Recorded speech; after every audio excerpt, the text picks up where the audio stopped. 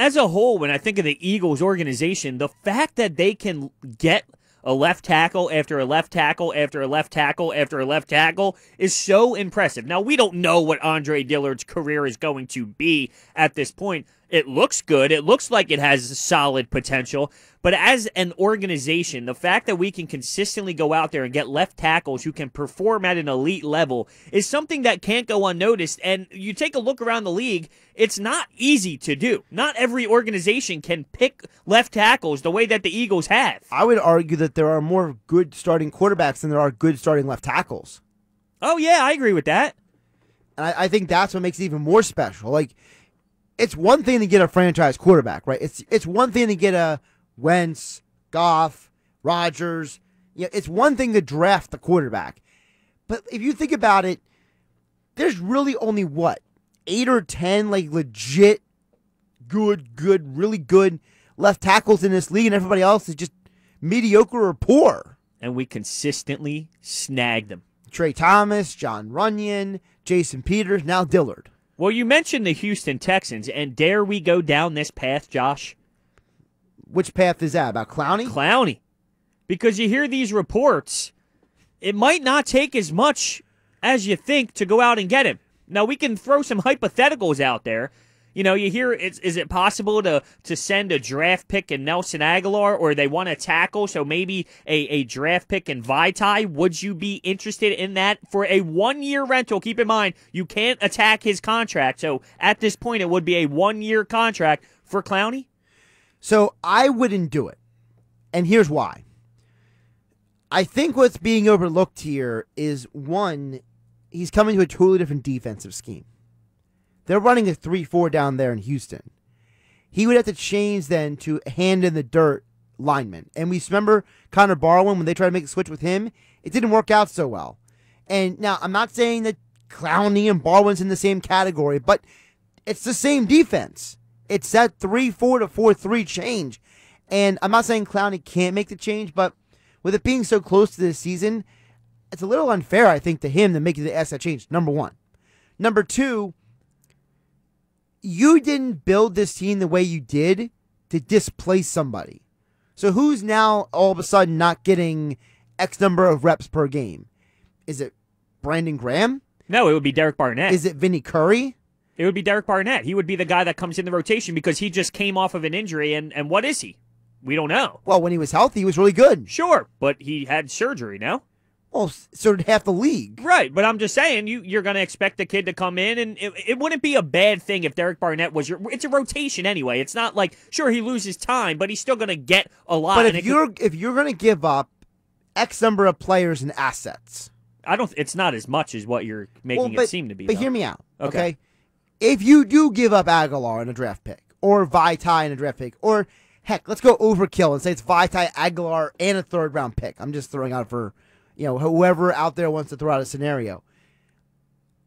Do you think you're going to keep Clowney in Philadelphia if he only plays the 40 to 40 50% of the snaps? Well, Nelson's going to walk anyway though. So Nelson Agholor's on a 1-year rental. Keep that in mind. He's not going to come back here. We're not going to we're probably well, not Nobody cares cuz you drafted JJ Arcega-Whiteside. But so that's my point why not get rid of Nelson Agholor and you bring in Clowney, who would be your best defensive end? Automatically, would be your best defensive end.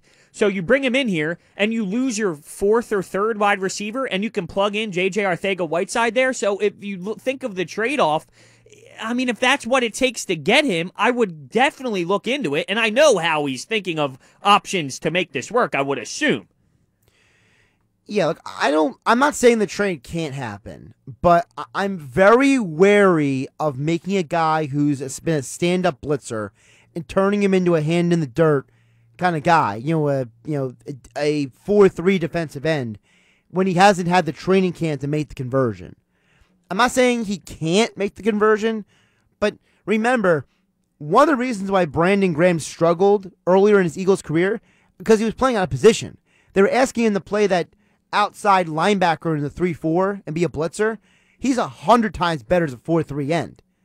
So I think that one of the problems is that you bring in Clowney, you're assuming he's going to be the best defensive end. But what if he doesn't make the changeover very smoothly? And that's one of the reasons why, as was reported last night, he met with the Dolphins because the Dolphins run a 3 4, a defense that he's already familiar with. Well, he came out and said he would want to be with Seattle or Eagles over Miami. I think that's just well. Let's clarify that. him. Adam Schefter reported that his people are saying that he prefers X Y Z teams. It doesn't mean that that's really where he's going to go. It's kind of like No, because we have Like, to be on remember- the rece- We would remember have the to whole give up. Anthony Davis thing when he came out through the agent through the Woj and said, "I want to go to these teams." Remember what team kept being brought up every single time? The Knicks. We all knew he wasn't going to the Knicks. We first of all, it wasn't financially pros- possible. The, the Knicks couldn't make the deal with the, the way their situation with the cap was and their draft picks until a certain time. Like how Boston couldn't make a deal until after X date for him because of the way their cap situation was. So we knew that that was a long shot, but it kept being mentioned. I think the Eagles were mentioned not because he's legitimately trying to come to Philadelphia, but because I think that they're trying to leverage that against other teams that he's more likely to go to. That's possible, but I don't think it's out of the question for us to be able to make the move. And you you claim that the scheme would be a big difference, which factors in it does.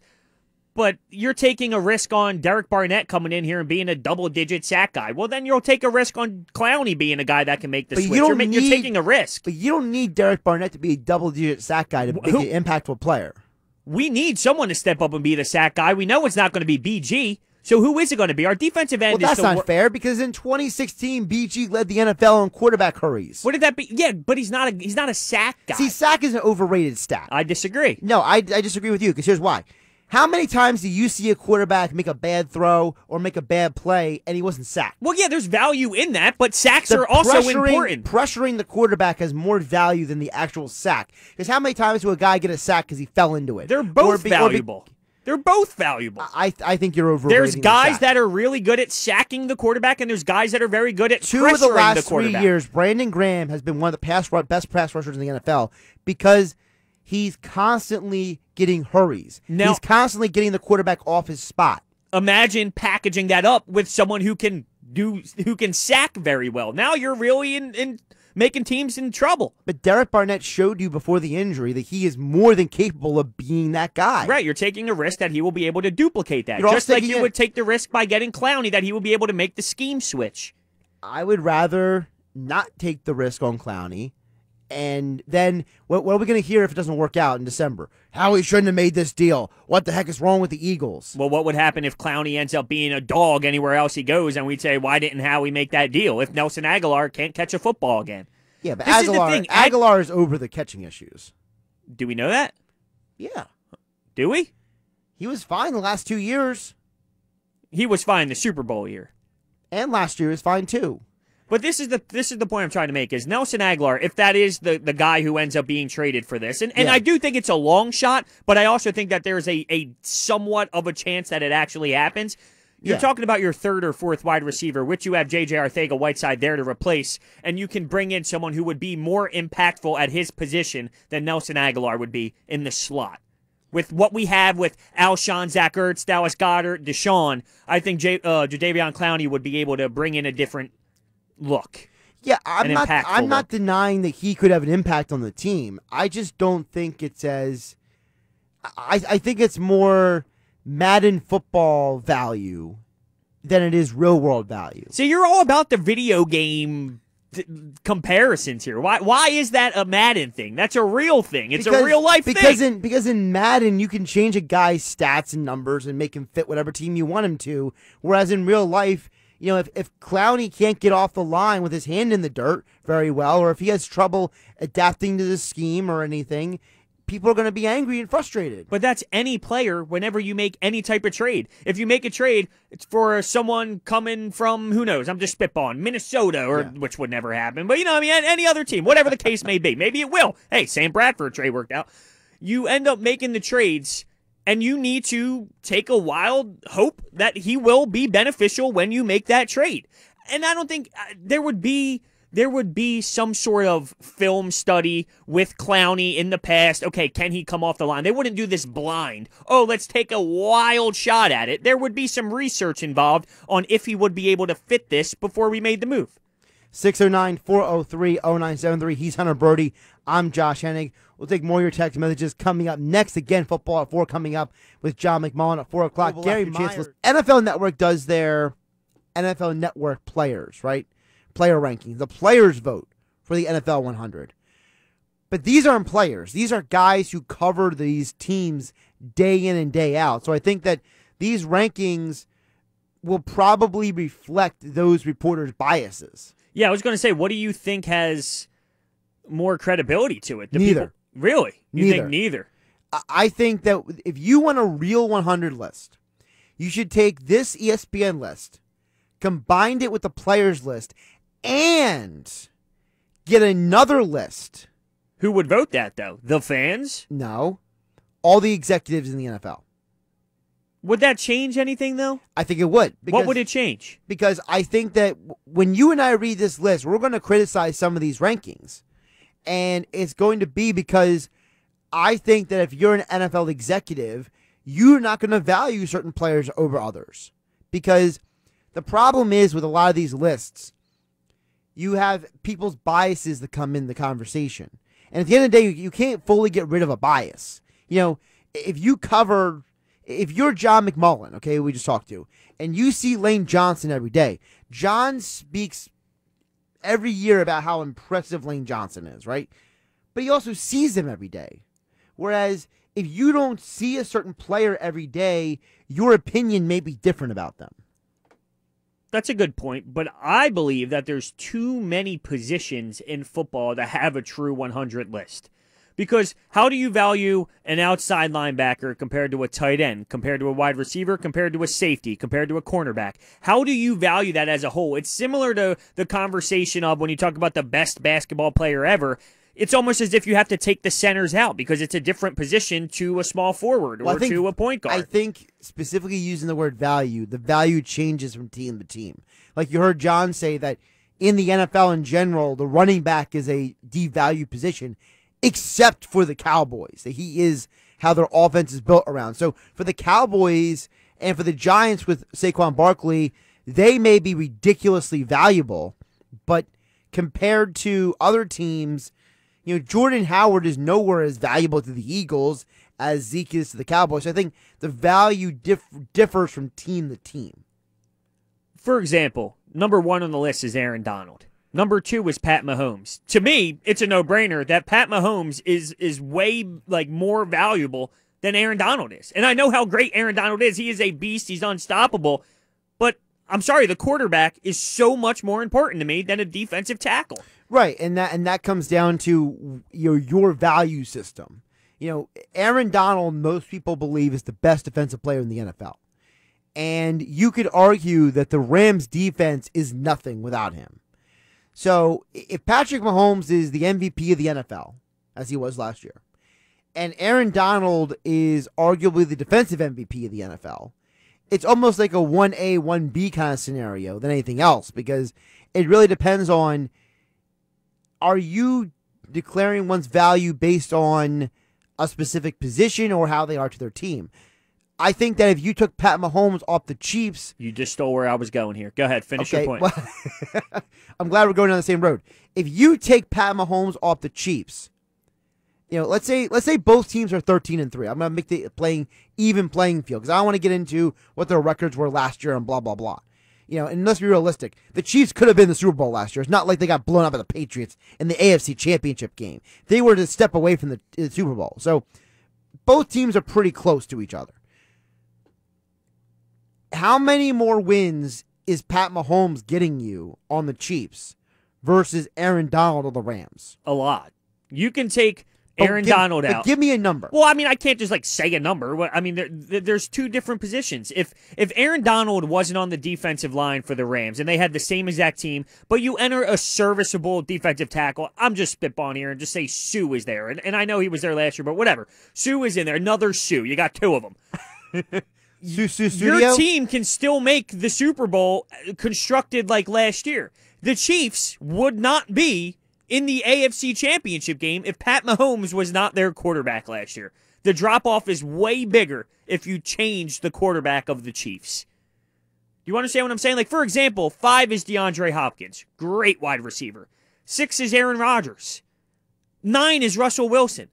The quarterback means so much more than these other players. So the list just makes no sense to me. Is that crazy to think? I'm not discounting what you're saying, but here's here's the problem. You don't value quarterbacks as much as I do. Though. No, I don't, because I think that we overlook. Like, look at Andrew Luck. You know why he retired? Because he got beat up. Why did he get beat up? Yeah, I, I get it. Their offensive Answer the question. Their offensive line wasn't Right. great. So if Pat Mahomes' offensive line wasn't blocking for him last year, he probably throws t- at least ten less touchdowns. Yeah, I'm not. My point isn't. It's not a team game, but it, it's it's obnoxious to think the quarterback isn't way more valuable than any other position. Ah, but what did I say an hour ago? I said that we all agree that the most important position is quarterback. See, I'm not denying that the quarterback isn't valuable. I'm just saying that the gap between the quarterback and the next position isn't as big, in my opinion, as you feel. What's the next position? Because it would be offensive line to me. It would be left tackle. I would say It- it's it depending on the team, it's a toss up between the offensive line and a defensive pass rusher. Because to me, if if quarterback's number one, okay, we both agree on that, right? I think anybody listening to us in their right mind believes as well that the quarterback is the most important position on the football field because they touch the ball every play of the game. When their offense is on the field, who's touching the ball? The quarterback in the center. It's not the running back, it's not the wide receiver. So we both agree on that. But I think after quarterback, the the priority is offensive line, defensive line, and then everything else after that is kind of like just dependent on who the player is. Like I'm I'm under the belief that unless you are an elite player in the NFL, like a lot, if you're among the best of the best, most players are interchangeable in the NFL. Unless you're like Tom Brady, Aaron Rodgers kind of level, most of the quarterbacks can be swapped for each other and you're getting similar results. Okay? Unless your name is Odell Beckham Jr., okay, and DeAndre Hopkins, most of the wide receivers in the NFL are, are interchangeable. Where So would you put Alshon Jeffery in that list? I think I I don't think Alshon is an elite receiver. I think he's very good, but I don't think he's among the five, ten best in the NFL. I think he's right outside the top ten, but I don't think he's top ten. Yeah, he's not elite, but he's in the category of of above average. I, I would say very good. Is very good above average or better than that? I think it's better than above average. Okay, I agree opinion. with I agree with you then. Yeah, but can you inter can you take him out and throw someone else in? You're saying would Alshon Jeffery being above average would that be interchangeable? Yeah, because if you swapped him with a similar skilled receiver, like I'm, I'm just throwing out a name, Jarvis Landry, okay, or Juju Smith Schuster, or um, Adam Thielen, okay, it's not like the Eagles' production at that position goes exponentially down. Okay. Like there's not that much of a change, right? The Eagles' offense is still going to do what it does. Yeah, you're cha- you're changing though, so you're changing an above average receiver with an above average receiver. In Right. that regards, yes, there wouldn't be much of a drop. And that's why I'm saying, like, to me, part of the problem with these lists is that some of these guys are interchangeable. Like, But the quarterback isn't. Dak Prescott on the Eagles, two different teams than with Carson Wentz. well, I don't, I don't think Dak and Carson Wentz are similar interchangeable talents. So who would you change Carson Wentz with that wasn't that wasn't Tom Brady, Philip Rivers, you know, those type of quarterbacks at the top of the league? Drew Brees, who would you change Carson Wentz with to the point where we have a similar record with Wentz? Roethlisberger? You hate Roethlisberger. No, no, I don't hate Roethlisberger. I just think it's funny that that dude is literally one off season away from being the Pillsbury Doughboy. I think it's funny. What does that mean though? Like he looks like he's an off season of not exercising away from being hefty. But he's able to contribute. No, he's still a good quarterback. He- I don't. I don't like. uh, Is there another one? Because I don't know if I like Big Ben. Just because the age thing, it, it Okay, makes you don't like the age I, thing. I don't. I don't. All right, how about Like Mitch Trubisky. no? Okay, I, I'm just seeing where your head's at because I think the quarterback you can't just change the. That changes everything. But I me. think that there are certain quarterbacks who you can. Okay, so maybe it's not among. Just get away from the top five quarterbacks. Like, I think if you put. Okay, uh, how about this? If you interchanged Carson Wentz, Matt Ryan. that's a perfect example. Okay. I think Matt Stafford. maybe. I think Matt Ryan's a better guy, but I think Matt Ryan is closer to Carson Wentz than not. So th- this argument kind of is similar to this. If, if you swap above average wide receiver with an above average wide receiver, you're not missing a step. Correct. If you switch a above average quarterback with an above average quarterback, you're not missing a step. Right. Okay. Well, then I mean that's that's And that's why I don't like saying some of these lists because one of the guys in the top 10 on this list is Julio Jones. at seven. Julio Jones' team has a losing record when he has six or more catches in a game. But I don't think that's his fault. No, it's not, but it's an example of how ineffective his team is when he has some of these big games. It's not his fault. I think if he was on a different team, it'd be a different situation. But when they're down, when the Falcons are losing a game, they start feeding him to the detriment of the offense. That's not his fault. That's the offensive coordinator, that's the quarterback, that's the team's fault. But the problem is, is that because of that, it devalues him a little bit. I think that if you're if you're giving me that top 10 list, I would never ever ever put Julio Jones on the top list because to me, there's only one wide receiver in the NFL that should be on the top 10 list. Who's that? The only man in the NFL sounded like somebody else for a minute. The only guy in the NFL who had zero drops last year and had over 100 targets. DeAndre Hopkins. The dude doesn't drop the ball. The dude oh just gets catches, yards, and touchdowns. He's incredible. Everybody else in the NFL drops the ball. See, I think Antonio Brown is a better player. I think there's things like attitude and and some off the field stuff that plays a factor into Okay. it. But w- skill set wise, I believe Antonio Brown is better than DeAndre Hopkins. See, I disagree. I think Hopkins is a better athlete. I think he's got the better hands.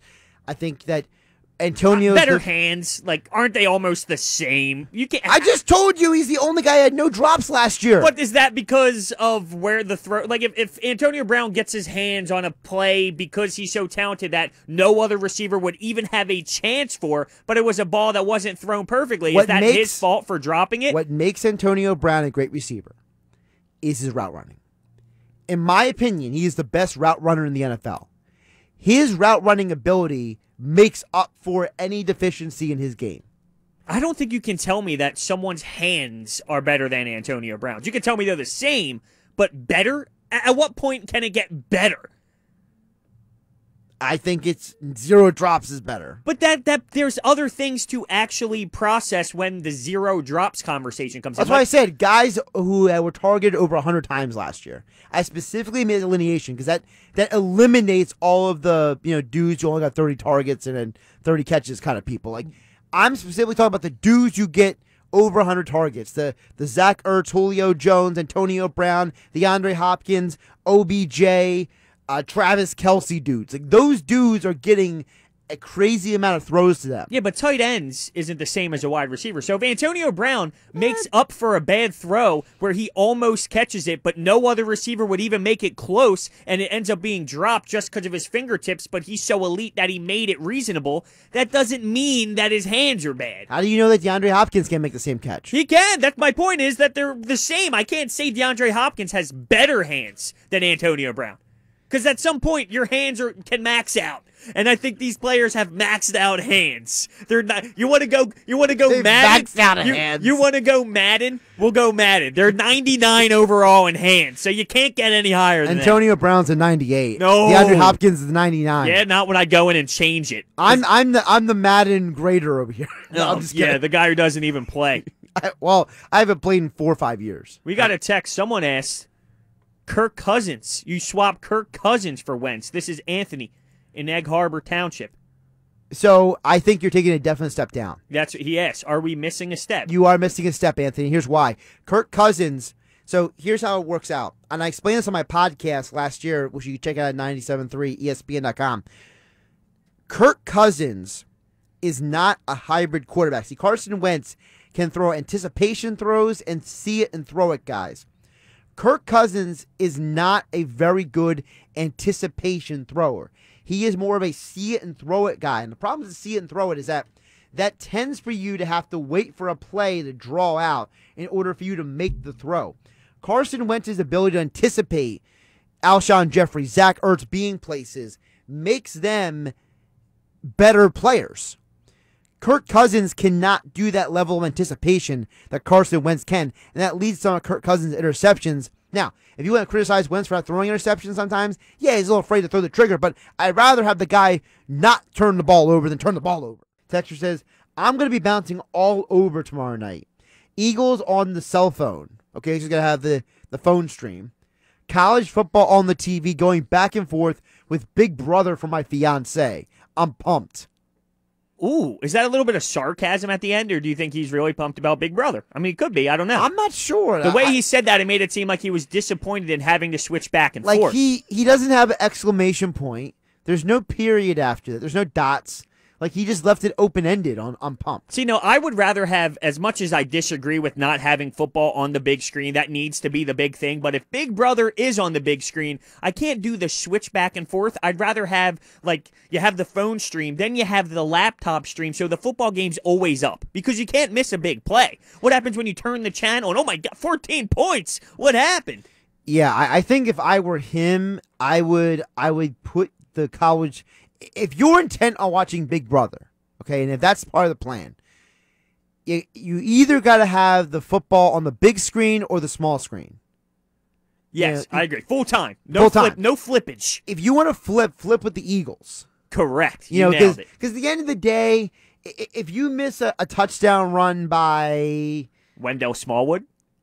Is he if he's even going to be in the game? I don't know. Josh Adams. Where are we going here? right. Okay, Josh Adams. you know, if you know, you can see a replay of that. Yeah, you'll that- see it on Twitter in three minutes. Right, or or you'll get an alert on your phone, be like, "Did you see this catch by Jr. I think a white side." You know, I, I get those alerts sometimes. Like I'll be watching the game, I looked at my phone, it's like, "Did you see this catch?" And I'm like, "Yeah, I, Yeah. I just saw it." That's bro." why I subscribe to you because I'm a diehard fan. So yes, yes, I did see the play. So my suggestion for this guy is like you said, leave either Big Brother on the big screen if you have to watch it with the fiance, the small screen for your favorite college football game so you don't miss anything. The Eagles preseason game can be on the flip. Yeah, I'm, I'm on the same page as you. You nailed it. You're a smart man, Josh. That's why I got to start listening to you when it comes to betting. on the text board. It says they're not watching the Eagles preseason game. They'd rather watch replays of MMA fights. We have one person that's going to flip the Phillies and Big Brother in college football. It's a it's a lot going on right there. A lot of moving parts. Give him credit. I mean, I I, I can't judge the guy. I got tons of moving parts sometimes too. I got. I mean, I'll sometimes have a you know three screens going and then have another game on the radio. Like, Now, I want to bring this point up to you because I get yelled at at home for this. okay, I need to sit on the couch and eat, but I, I, I, I have the, the table. You know the, the table you can bring over, the fold out table that you can sit Sure, down, the TV yeah. dinner table, I guess you would say. okay. I need to sit in front of the TV and eat if the Phillies are on. But I always get yelled at. Eat it at the table. My back is turned to the TV. I can't see it. What is your approach to eating dinner, eating food while watching the game right in front of you? I, I need to see it. So, well, first of all, the text board is 609 403 0973 if someone wants to chime in on this. So, uh, now, I will preface this as I am a single guy. You have a girlfriend, okay? You are in a long term relationship, okay? So, it's a little different for you.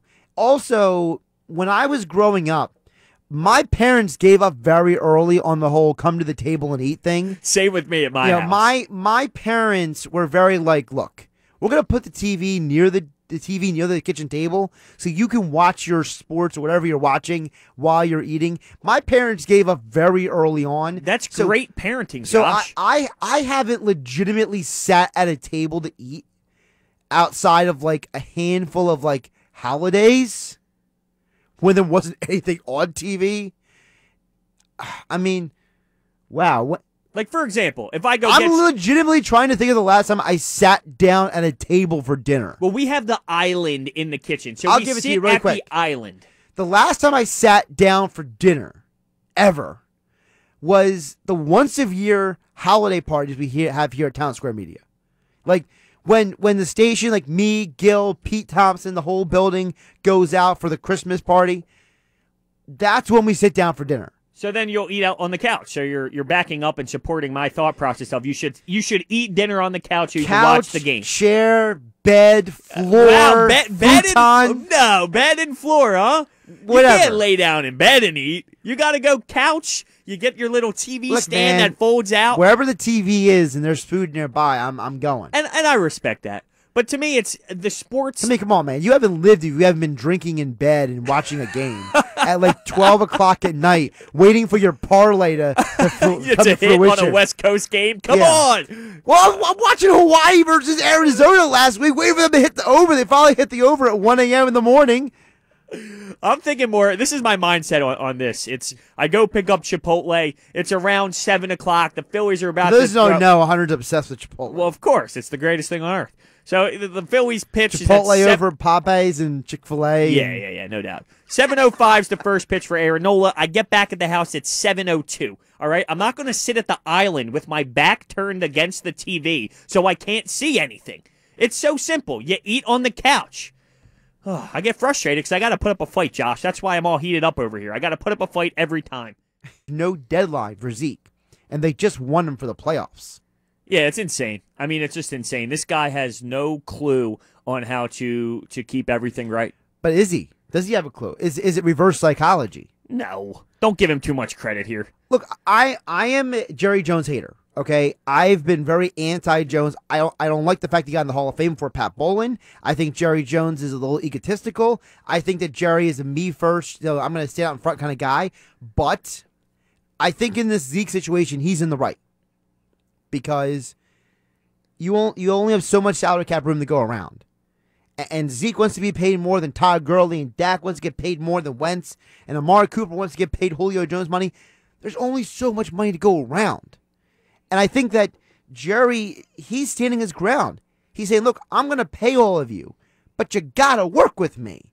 Like he paid Jaylon Smith. Yeah, but I don't think Smith, that's the message he's sending out, though. He's not sending out, you got to work with me in this friendly matter. I think it's more of a, hey, you we're doing this on my terms. And well, it should difference. be his terms. It's his money. Sure, but that's not how it works with the NFL when these guys can hold out and hold all of That's these fine. people but, hostage. but the but the NFL is a, is not a players' league. We all know that. The play it's not like the NBA. The NBA is run by the players. In the in the NFL, it's about the name on the front of the jersey, not the name on the back of the jersey. And that's the problem for these guys. Look at Le'Veon Bell. He ended up with less money because he held out. You know, you look at some of these other but guys I think who hold that's based off position because the running back just isn't valued. well, what does he play? running back, and that's I've been saying it from the jump that they should trade him and get a bunch of assets. That's how I would build this team. You, you pay Dak, you pay Amari Cooper, you go out and do your linebacker thing, and you, you trade Zeke away. I know he's really important to the offense, but you get a ton of assets and you start from there. That's how I would have approached this situation.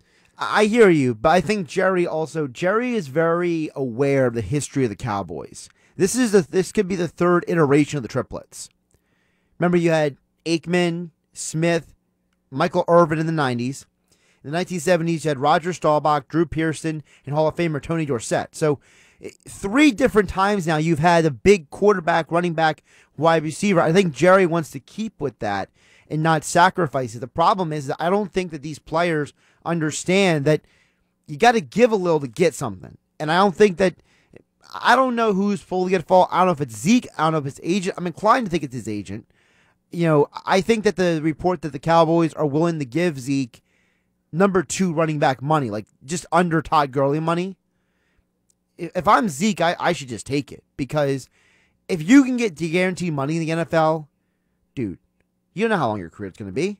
What what if, what if tomorrow he like trips on a on a on a, a brick in in Cabo and like rips his leg open? Well, that's why I think he's holding out because he knows he doesn't know how long his career is going to be. So why not try and get the most of his money now? Yeah, but here's the thing. If you are already going to be guaranteed, let's say 50, 60 million dollars, are you really holding out for 10 million Yes, I, we've had this discussion before. To us, the common people, that's, you know, oh, of course, 50 mil. But when you are a professional athlete that can make 60, $10 million is a lot of money but here's the thing. Can he for. make 60 to 70? They or, think so. Or, or is it that his agent is trying to get him to only push for that? well, that's their job, to make them the most money. Yeah, but in this case, does the agent have Ezekiel Elliott's best interests? or is he just trying to get his the biggest cut of his he can? But isn't that the point of their job? Like for example, look at James, uh, uh, Jadeveon Clowney. We'll get into more Clowney a bit later, but he fired his agent this week. Bus Cook is one of the biggest name agents in the business, and he fired him because he said this guy is not getting me on the field. This guy is not getting me a contract. He's stalemated with the Texans, and now I have a bad relationship with the organization that drafted me because my agent didn't serve me. Yeah, but the Houston Texans don't even have a GM. So I think the Houston Texans are a joke internally to begin with. Well, to technically, the, the, point where, Cowboys don't have a GM either. Yeah, but there's a difference between where Jerry Jones is and where the Houston Texans are when it comes to Sure. who- who's running it and I'm, what's I'm the just, style. I'm just saying that there's something to be said for you have a player who literally just said, "My agent is failing me. I'm getting rid of him." yeah, that happens. And it's not the only one. There's been several guys in the NFL over the last several months who have fired their agents and got new agents. Look at all the guys who have signed on with CAA and the Jay Z's of the world, and you know Drew Rosenhaus is picking up new clients left and right because these guys are realizing my agent doesn't have my best interest in mind, and I gotta wonder with Zeke, he needs to look at his agent the way way Jadeveon looked at his agent and say, I don't care who you are, dude. Like are you really have my best interest at heart? Because at some point, the agent has to inform the player to say, look, here's how much money the Cowboys have. Here much money is in their bank account. Here's how much is under the cap. Here's what that can happen. Like, yeah, bring me a flow chart. Bring me a breakdown. Bring me a something. I don't know if this guy is giving Zeke good advice. Like, you look at the Eagles.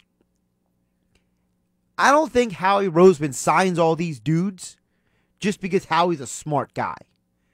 Like, I'm not saying he isn't, but I think there's something else to it. I think Howie explains to the agent what he's doing. I think Howie and his people detail to them what the plan is. Like when they signed Carson Wentz that money, I think it was them sitting Carson down and say, "Here's our position. Here's our financial situation. Here's what we can do for you."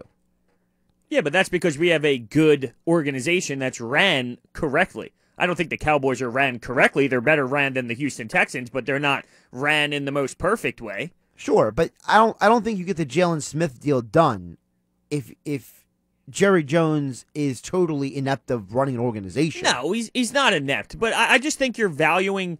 You need to realize that these players, at the end of the day, most of them, they don't care about the structure of the team and who's getting what contract. They just worry about themselves. So if Zeke is sitting there knowing he's the best running back in the league, if he can get 60 instead of 50, he's going to hold out for that. I don't think it's the agent trying to make an extra 10. I believe Zeke believes he deserves the extra 10 as well. It's not just the agent trying to make the money. Yeah, but you can believe you can get that extra money, but is someone willing to pay you that money? Well, that's why they're fighting for it. That's the that's the fight. But you mentioned the Dallas Cowboys and looking back at their tradition and looking at the three guys they had on their team to make a run. Well, Right. they did also make a big trade before with Walker, which was a big time splash, and that helped out their organization as a whole. Sure. So if you do look back in history, maybe Jerry Jones remembers that big trade. And and that's a good pull by you, but the exception for that is part of the reason why the Cowboys traded Herschel is because they had no assets. And Jimmy Johnson wanted to get assets. And let's be realistic, Herschel wasn't prime Herschel anymore. Correct. You know, I think trading's first of all, you'll never see that haul again. I mean, because we've seen what happened to teams like, you know, the Ricky Williams trade almost 20 years ago now, uh, where the Saints gave up everything for Ricky Williams and Mike- Ditka got fired. So, um, but I do think, yes, you're right. You can get a substantial return for Zeke. I don't think the Cowboys want to trade him, though. I think the Cowboys want him there. And I don't think Zeke wants to be traded. I think Zeke feels like he wants to be a Cowboy. He said in the Maxim article that I want to be a Cowboy. I want to spend my whole career here. But I think there's a part of it to sit down and realize look, we can pay you in other ways that are not average annual salary. Okay, that AAV everyone talks about, average annual value, right?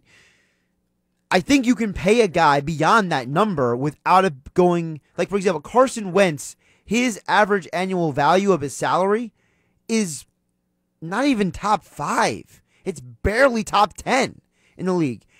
But he has more guaranteed money than anybody else right now as long as he's on the roster next year. So there are ways you can manipulate the numbers and tell Zeke, look, we got to keep your cap number at XYZ, but we're willing to front you this money up front for guaranteed money. Like you can maneuver the money. I don't know if Zeke is informed enough by his agent or if he's just pushing for I want to be the highest paid running back per year where the Cowboys are turning around and saying, "Look, we're going to give you the money, but your annual value is not going to be on the level of Todd Gurley." Yeah, so you're going you're attacking the agent here and it's interesting because I haven't really heard that take too much. I don't know if it really is the agent though. You you look at around at the Cowboys. Are the Cowboys known for for maneuvering money the way Howie Roseman is? I just don't think that's the way the organization works. They don't have a history of doing contracts the way you're speaking of when it comes to you know their team building. So the the specific contract that I'm thinking of with the Cowboys was several years ago when they signed Dez Bryant to that big contract. But at the same time, they were paying Tony Romo huge money. But what did they do? Because of the history with Dez off the field. Remember, when Dez first came to the NFL, he was a bit of a trouble child. And so what they do, they gave him a babysitter. They basically they hired a guy that drove Dez everywhere. And he never got in trouble ever again. They literally gave him like a built-in friend. who was employed by the Cowboys, and the guy drove him everywhere, helped him with his schedule, he never had problems ever again. But they told Desmond, look, you do have a bit of a history off the field. Zeke does too, by the way. Why not go to them and be like, look, we're going to format this contract. We're going to get you paid. But we got to pay you a certain number on the cap so we can pay other people too. I think Zeke is overlooking the fact that Jerry Jones has gone to the wall for him. You know, when it came to them trying to appeal Zeke's suspension, that might not come out of Zeke's agent's pocket or Zeke's pocket or Zeke's lawyers. The Cowboys paid their own lawyers to fight for Zeke to get out of that suspension. A suspension that we now find out that he really should never been suspended for. Let's be realistic. Roger Goodell just decides one day to suspend people, basically. Yeah, but do you think that's because Jerry Jerry Jones believes that is he really fighting for Zeke in that spot, or was he fighting for the Dallas Cowboys to win more? Both, because he knows that they, in order for them to win football games, he needs Zeke. Right. Well, I, I, don't know. I think the miscommunication between the two was just the fact that this is standard. Like, this isn't out of the ordinary. This is what sports are now. One player believes they're worth X amount. The owner doesn't believe he's worth X amount. And then they they fight to see who, who ends up winning, essentially. This is common in sports. It's not anything out of the ordinary. This is just what sports are these days. How do we get sidetracked into the Dallas Cowboys for the first 15 minutes? well, I brought up Gary Myers coming no, up at, at 5.30. By the way, text board is open at 609 403 0973. 609 403 0973. Uh, we do have a lot of football to talk about. And we're not going to talk about the Flyers, which is the shirt you're wearing today. But we are going to talk about the Phillies. There is some Flyers talk, actually. Real, no, no, no. Time out. It's a it's a it's Good a show grief. similar to Hard Knocks. The Flyers are on it. it. Starts late September. That's all I got for you. Seriously, I'm not kidding. There, so there's a there's an NHL version of Hard Knocks. Yeah, for training camp, the Flyers were chosen. What channel is this on? Uh, that's a good question. I will find that out. Well, how about you do that research and while we talk about the Phillies? Okay, I'm okay. in. So you you get me that information, and I'm glad to talk about it because I like. Well, no, there's nothing to talk about. It's just something. Well, I mean, it's interesting. I mean, I like Hard Knocks. I'm a fan of Hard Knocks. Yeah, I'm, so I'm in with Hard Knocks. So if the Flyers are on an NHL version of Hard Knocks, is not on some network that I never heard of that I can't find. NHL NHL Network. Okay, I have that channel. Okay, it's on NHL Network Wednesday, September 25th. So how about it? So is this like an episodic thing, or is this like a one a one shot documentary. No, I, I believe it's a it's a weekly thing. Okay, so it's a little like Hard Knocks. Yeah, yeah, yeah. So they're going to be at Flyers training camp. Yes, they're going to follow them around. Correct. Behind the Glass, Philadelphia Flyers training camp is set to premiere Wednesday, September 25th, 8 o'clock, NHL Network. All right, so your job now is to set yourself a reminder for that and remind me when we get closer. Okay, I can so do when, that. So when you are in with me on Saturdays, we can talk about this. I'm in. Because I'm all for the behind the scenes look. I'm a huge fan. And if text in 609 403 0973, one of the things I love about Hard Knocks is the behind the scenes access, the meetings, the talk on the sideline. I know some of it is contrived a bit because they know they're on camera, but you can tell the, the parts that are not. You can tell this moment was real. Like this moment was raw. This moment was legitimate. And you can tell the moments that are not. And I think that you always want to see the behind the scenes. Let's be realistic. There's never been a hard knocks for the Eagles. And there never will be because you have to be bad. Uh, that's part of it, but also part of it is apparently uh, there was a report a few years ago. The Eagles are one of the ownerships that told the NFL they want nothing to do with it, which is surprising because Jeffrey Lurie has a Hollywood background. Yeah, it, it is weird. Like I don't like the argument of well, people are going to steal stuff from it because that's just absurd. Yeah, in, just what world are you going to watch anything that we've seen so far in Hard Knocks and use it against the Raiders in a regular season game? If you really think that there was something on Hard Knocks that you're going to use against the Raiders in a regular season, you're nuts. Right, but that's some of the arguments, and, and it's not just that. It's the same with open camp that we talk about with Yeah. the Eagles too. It's someone's going to Well, steal the stuff. John McMullen has talked about this before. You know, the Eagles are make a big deal, and maybe too much of a big deal, about not conveying certain information. And that's why, for example, like, so DeSean Jackson broke his ring finger on his left hand. He'll be fine. He's going to start the season, okay? But the problem isn't that. The problem is, what did John say on the air yesterday? On Football 4, he says, that was the part of practice that we weren't allowed to see. We only knew he broke his finger because when we got in the locker room and talked to the players, there he was with his finger wrapped up. well, what was there to see though? What what could you possibly see? I'm confused. Well, I mean, you might see the play that it happened. Oh, so they weren't able to even see what happened? Correct. Okay. That's what I mean. So they were just there asking questions after practice? They found out after practice, did the media, Gotcha. that DeSean broke his ring finger on his left hand, and but he's going to be fine. Wide receivers break fingers all the time. It's not that big a deal. Yeah, he has this special splint for it. Apparently, that is used around the league to Yeah. the point where they don't even realize your finger's broken. Isn't that wild to think about? Though? Like I, I remember Anquan Boldin broke one of his fingers years ago, and the next game he had like ten catches in that game or something like that. Like it, it doesn't, in the big picture, it doesn't really affect anything. But what I do think is interesting is that the Eagles are so dead set upon not letting people see certain things, and I just I don't believe that. I understand that when you're installing an offense, you don't want to put too much out there. But at the same time, like you're telling me that you're going to keep everything a secret. Like at some point, you got to have a little extra transparency. Like you know, this isn't the CIA with espionage here. Like it's not like we're like stealing nuclear secrets or something. Like it's football. There's only so many variations you can do on the same play. Like there's only so many variations you can do on 12 personnel, which is two tight end, two wide receiver, one running back, and a quarterback. Like, how many ways can you really vary up that offense? well, I think that there's a lot. No, I think there's more than you're saying. That's the beauty of it. No, I don't think so. but that's what makes it not important because if you have if there's so many different plays you can run off a 12 personnel set well Yeah. if we line up in 12 personnel because we've done it before in an open practice you don't know what's coming because there's so many different ways you can run it Sure, but at the same time, if you're running 12 personnel, you can you can shift out of that set into something totally else and it won't even matter. Like you can you can line up in any formation you want and then the quarterback can change the whole formation on one call. Like I just I don't think that th- this whole like you know the, the Eagles being vague and coy at times about things that are going on. Like like remember the whole thing with Carson Wentz last year? Oh, we don't know if Carson's playing yet. The whole world is reporting that he's going to play week three last year. Remember? Doug's just, keep, well, you know, Carson hasn't practiced yet. they even did that this year a little bit with the preseason games Yeah. Ev- all the starters are up uh, in in the beginning of the game throwing reps and pregame warm-ups and Yep. oh is carson going to play and then you see clayton thorson run out of the tunnel first well i guess carson's not playing And then Clayton didn't start. Yeah, It was Cody Kessler. yeah, I don't know why they do this. Why are they so scared to inform the public anything that's going on?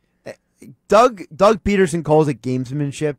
I I'm not fully sure if it's gamesmanship as much as it is just you know Overthinking? overthinking. yeah, Yeah. big time. Again, 609-403-0973 is the text board. We're all over the place today right now. He's Hunter Brody. I'm Josh Hennig. Let's save the Phillies talk for after the break. Okay, we can we, do we do have to talk some Phillies because That's great. Last night's game had a, a few different things that stood out to me, at least. And of course, if you didn't know, Hunter Brody is the man giving you the Phillies reactions every day after the Phillies games at 97.3 ESPN.com. His daily Phillies after game reactions. Now you gonna do these reactions as well for the other sports too? Yeah, I do that on on. I don't know the the deal yet. I have to talk to Gil about what we're going to do for the website. But on the personal YouTube channel, I do it for all four squads. Okay, so so there's hope that you you'll be doing this for everything. Yes. We- Okay. We just got to game plan it. Okay. Well, I was curious because I'm looking forward to when the Sixers or the Flyers lose a game because for me, I'm just the Phillies have gone sour for me a little bit. Like it's just getting old. Like I I see it. It's the same conversation Right. almost every time. Like how many times can we talk about the pitching didn't do their job, somebody struck out, somebody messed up. Um, but there were some things last night that I ought to talk about, like the Sean Rodriguez stuff and um, you know, the whole Drew Smyly situation of, you know, did he did he really lose the game? Was it reset lost the game? You know, we talk about that. But before we get to that, j- just finishing up with the Eagles, I just think that when when you have a guy like DeSean Jackson, someone as high of a name as he is, like we're not talking about um I don't know. Well, Shelton Gibson Shelton Gibson's been cut, so uh we're not talking about Greg Ward here, right? We're not talking about um oh who who's the one guy from Rutgers? Um Agudosi. oh, Agudosi. Yeah, Yeah. he's like six seven, Yeah. six six. Like we're not talking about that guy. He's like that far. We're talking about your arguably your number two receiver on the team, and he broke his finger, and like the guys just happened to find out about it, and then they ask him, "What's up with your finger?" You know, like at some point, like you would think the Eagles might just be like, "Hey guys, before you go in the locker room, just wanted to let you know." Like you know, it, it might be nice to have a little extra tra- transparency. Yeah, big time. It, it's weird that we're coming up here on such a big season and football is nothing right now. There is no buzz surrounding the team. Like you said, DeSean Jackson breaks a finger, and we're not even talking about it really. There is nothing. And I wonder if it's because we're too comfortable as a fan base, or is it because preseason just stinks that much? Or a little bit of both. I think it's three things. I think two of them are those three things. I think the fan base just presumes the Eagles can be good this year. And I think that level of complacency is what's going to cause an outcry, whether it's like week four or eight when they have like a bad loss, because every team has a bad loss every year. They're to have a bad loss. Everyone's to freak out. And we're to have everybody texting and calling Mike Gill and Mason Aton and, and my show on Saturday, Sports Bash Saturday, and Billy Schweim and Pete Thompson, and everybody's to get this team. Ah, yeah, everyone's to freak out. So I think, yes, there is a level of complacency where people just assume this is going to be a good team. I think number two, the preseason has definitely left you just so wanting the season to start. I think the fact that we have seen more of guys who will never play in the NFL than guys who will play in the NFL in the preseason, I think that's exasperating. And there's a part of me that, like, I usually watch every preseason game, but this Thursday, you have a full college football slate. I won't watch one second of Eagles football. I I'm leaning toward not watching the Eagles. yeah, I won't. I'm, I say that, yet I'll watch maybe like the first drive. Like, do, do the do the Phillies play that night? no, they don't. They're off. Okay, so it's so, I- even I, I don't have the Phillies option to. correct. So, but there are some college football games tonight. I think that for me, I, I might have. Okay, here's what's probably going to happen. And text in at 609 403 0973. What are you going to do Thursday night? I'm probably going to have the Eagles on the radio, but I'll have college football on the TV. wow, you do that? Oh yeah. Well, that's because also like there's a lot of times that like, you know, I'm I'm either still here at the station or uh, you know I'm in in you know at the gym or I'm in my car, I'm at home or I'm somewhere where there is also a place for me to listen to the radio. So I could have that option of like you know dual platforms. I, I need the TV. I need the TV sound. That's important to me. I can't go Eagles preseason game four yet I'm watching Clemson on TV. I, that's a violation. Well, this time you can because they're playing Georgia Tech and it's a minus thirty six. you taking it? Big spreads scare me like that. Yeah, I think I spread's a little too big. That that's one of those backdoor covers where like Georgia Tech scores with like two minutes left in the fourth quarter against Clemson's like third line, and like it ends up being like a thirty three point win or something. Big time. He's Hunter Brody. I'm Josh Hennig.